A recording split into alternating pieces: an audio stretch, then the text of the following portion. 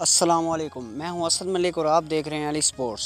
दोस्तों 28 जून को कौमी क्रिकेट टीम लाहौर से इंग्लैंड के लिए रवाना हुई थी। 29 जून को कौमी क्रिकेट टीम के 20 खिलाड़ियों और 11 ऑफिशियल के इंग्लिश क्रिकेट बोर्ड के ज़ेर अहतमाम करोना टेस्ट लिए गए थे, जो कि 30 जून को उन करोना टेस्ट का रिज़ल्ट आया है और उसी रिज़ल्ट में, यानी इंग्लिश क्रिकेट बोर्ड के ज़ेर अहतमाम जो करोना टेस्ट हुए थे, उसी रिज़ल्ट में पाकिस्तान के 20 खिलाड़ी और 11 ऑफिशियल सब के करोना टेस्ट नेगेटिव आए हैं। तो ये बहुत ही बड़ी खुशखबरी है पाकिस्तानी टीम के लिए और फैंस के लिए।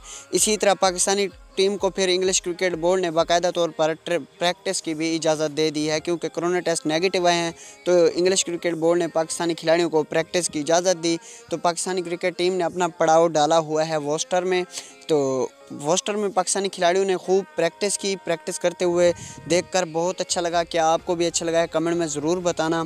तो दोस्तों, पाकिस्तानी क्रिकेट टीम की जो ये नई किट नज़र आ रही है आपको फोट तस्वीर में तो आप देखें कि यही नई किट यानी कि ट्रेनिंग पर भी नई किट है तो उम्मीद यही लग रही है, यानी कि मकान से यही लग रहे हैं कि इंटरनेशनल मैचेस में भी पाकिस्तानी टीम की इंग्लैंड के ख़िलाफ़ नई किट होगी, जो कि पिछली सबका किट थी, वो नहीं होगी, क्योंकि ट्रेनिंग किट बड़ी अच्छी लग रही है, बड़ी, यानी कमाल की लग रही है क्या आपको भी अच्छी लगी है, कमेंट में ज़रूर बताना। तो दोस्तों, पाकिस्तानी खिलाड़ी ये इंग्लैंड में पहुँचे हुए हैं, बीस तो छः मजीद खिलाड़ी भी इंग्लैंड रवाना हो जाएँगे। तकरीबन यकम जुलाई को इंग्लैंड के लिए रवाना हो जाएँगे, जिनके कोरोना टेस्ट नेगेटिव आए हैं। मोहम्मद हफीज़ फ़खर जमान, वहाब रियाज, हैदर हैदर अली नहीं, वहाब रियाज, इसी तरह मोहम्मद रिजवान और मोहम्मद हसनैन।